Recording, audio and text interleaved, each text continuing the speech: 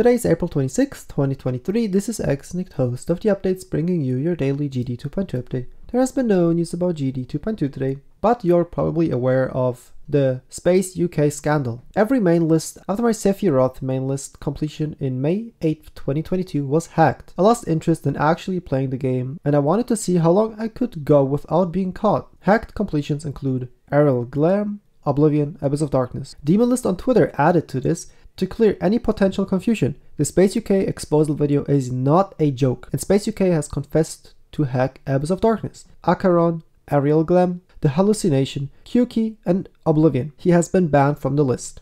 What do I think about this? I don't really care. He was honest, he confessed it. In case some people are trying to send bad comments to him, don't do that. We just spread love in here, okay? But moving on to the random fact of the day.